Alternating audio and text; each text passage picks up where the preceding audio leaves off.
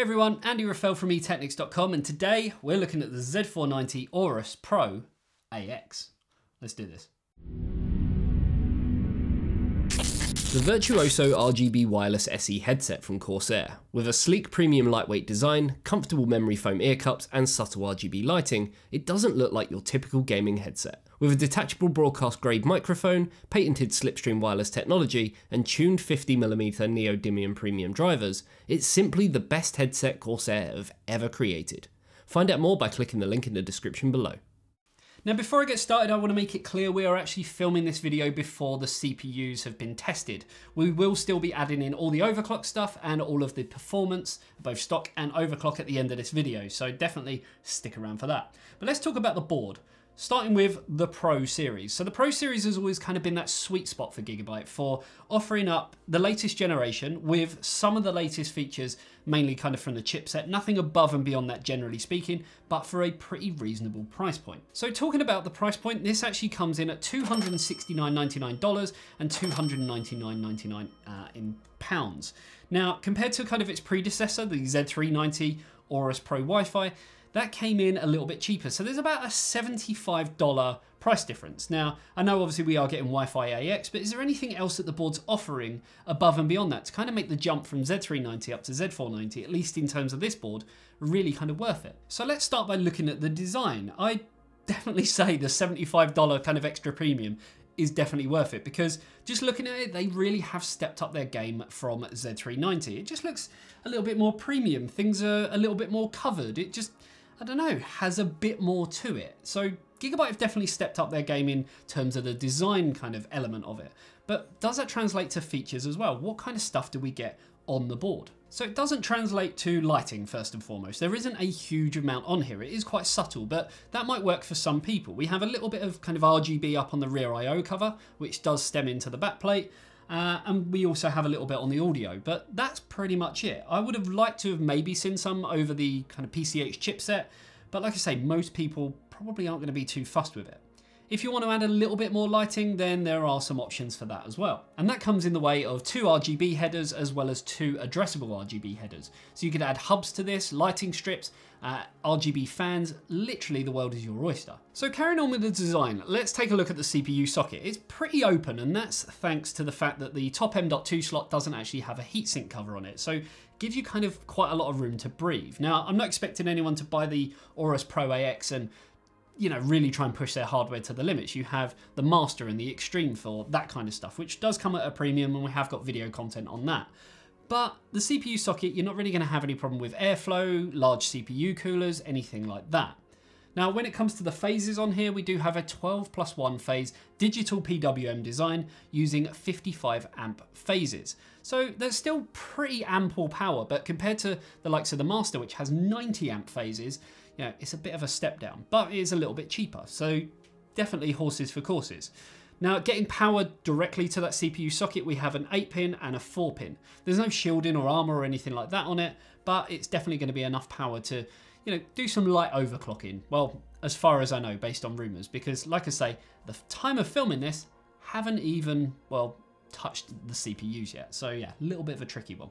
It is also worth noting that all of the power connectors on here, the 24 pin, the 8 pin and the 4 pin, all have solid pins, which is Gigabyte's kind of technology to basically give you the best possible connection to give you the cleanest power and the most stable power, especially when pushing your hardware to the limits. In terms of the cooling, there are two heat sinks around the CPU cooler. We have the one along the top and then the one down the side, which kind of spans into this bulky sort of rear I.O. area. Now, it looks nice. It looks like it's going to do the job. It has direct touch and the fins array stuff, all the kind of good Gigabyte stuff that they brand out there. But the thing that really annoys me, and I had the same gripe with the Master, is the thermal pads that are used. Why couldn't they have used black ones? I'm hoping that this is addressed in the retail version because, like I mentioned in the video of the Master as well, it just kind of stands out a little bit. Just seeing this kind of thermal pad spewing out sort of beneath it. I don't know. Maybe it's just me. Let me know what you think in the comment section below. Now, the main kind of step up in terms of heat sinks for Z490 uh, on the Aorus Pro compared to the Z390 is definitely this lower kind of portion. I mean, two out of the uh, three M.2 slots are covered with kind of heatsink shielding, and it all sort of, you know, merges into the PCH chipset.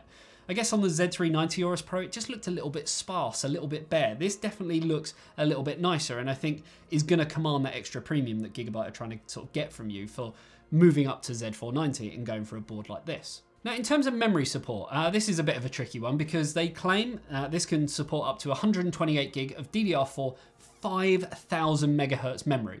As far as I know, there's no one even out there on the grand kind of scale, you know, G.Skill, Corsair, whoever, actually developing 5000 megahertz memory. Pretty much the sticking point is 4400. But it says it can support it, but that doesn't just come down to, you know, saying a board supports it. A lot of it is really going to come down to the processor, the chipset, and kind of how far the memory controller will allow you to push things. So it's going to be interesting to look at that.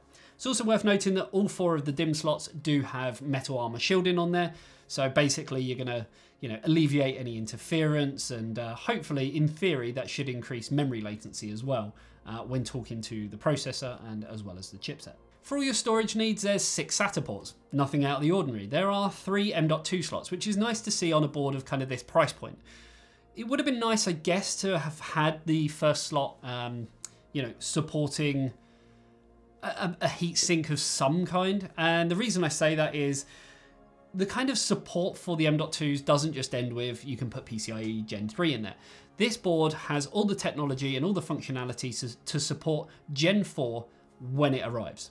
Now what I mean by that is this board is socket 1200, so it is supporting Comet Lake S, but in the very near future, hopefully sometime this year, probably towards kind of Computex in September, we are going to be looking at the new processors, which is going to be Rocket Lake, which will support PCI Express Gen 4. Now, I know I can hear all the AMD fanboys out there like, oh my god, a little bit late, isn't it?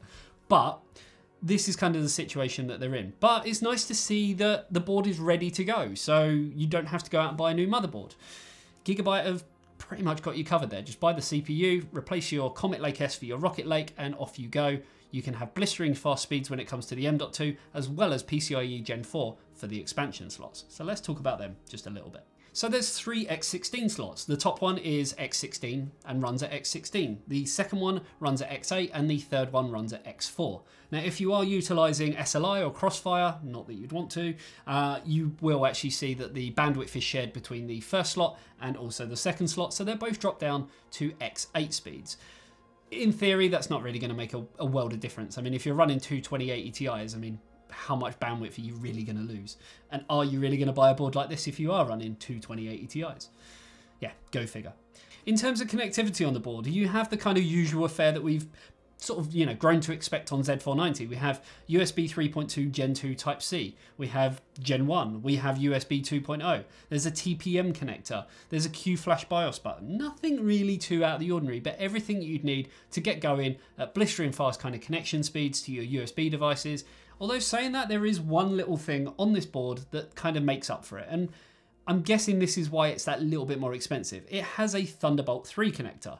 Now, while that doesn't mean that it you know you can connect Thunderbolt 3 devices in, you will have to buy a separate add-in card, but the board actually supports it. And as far as I know, Gigabyte do uh, their own kind of you know add-in Thunderbolt card. So just pop that into one of the PCI Express slots, plug it in, and away you go. 40 gigabit per second. Now around the rear on the I.O. it is incorporated into the design, which you'd kind of expect at this price. It does feature kind of subtle Aorus branding, not that you're ever going to see it because it's going to be at the back of your case.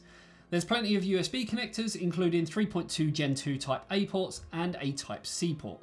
It has Intel Wi-Fi 6AX201 as we've come to expect with Z490, and also has Bluetooth 5.1. There's Intel 2.5G Ethernet, and all your audio jacks with optical S/PDIF are situated here as well. So there we go. I mean, hopefully that's given you a kind of you know good rundown on the board. And as I mentioned at the end of this video, we will be showing how it overclocks as well as them glorious benchmarks. So yeah, I can't really comment too much right now, but I'm hoping to actually have more content out on launch day where we can kind of sit down and analyze the, the data a little bit and see how this compares with other boards as well. But uh, for now, I guess I'll leave you with the overclocks and the benchmarks and uh, yeah, let me know what you think of the board. I'll see you in the next one, guys. See you later.